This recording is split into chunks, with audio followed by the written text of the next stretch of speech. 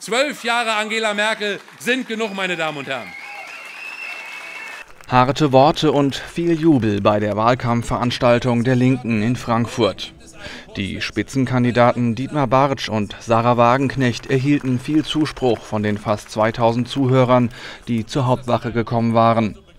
Immer wieder griff Bartsch die Kanzlerin und die Große Koalition an. Ich kann Ihnen versprechen, mit der Linken wird es keinen Abbau sozialer oder kultureller Leistung geben. Mit der Linken wird es kein, keine Kampfeinsätze der Bundeswehr geben. Mit der Linken wird es keine Einschränkung demokratischer Rechte geben. Wir werden immer gegen Hochrüstung, gegen Geschäfte mit dem Krieg, gegen Terror, Rechtsextremismus, Rassismus und Antisemitismus auftreten, meine Damen und Herren.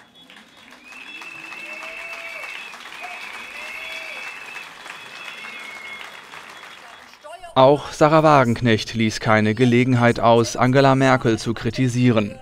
Merkels Äußerung, Deutschland ginge es so gut wie nie zuvor, lasse sich laut Wagenknecht nicht damit vereinbaren, dass 40 Prozent der Bevölkerung heute weniger verdienten als noch in den 90er Jahren.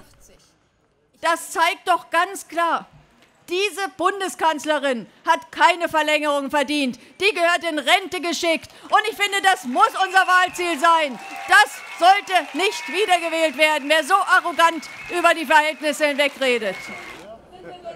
Weiterhin kritisierte sie vor allem Arbeitnehmer betreffende Themen wie befristete Arbeitsverträge und den Mindestlohn, der mit 8,84 Euro viel zu niedrig angesetzt sei. Vor passender Kulisse zwischen den prunkvollen Bankentürmen argumentierte Wagenknecht auch für eine Vermögenssteuer für Millionäre und Milliardäre. Denn alle anderen Parteien würden sich das nicht mehr trauen.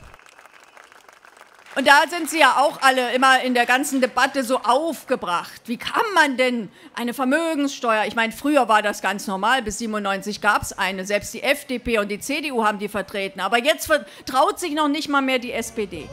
Nach ihrer Rede ging es dann für die Spitzenkandidaten schnell weiter zum nächsten Termin.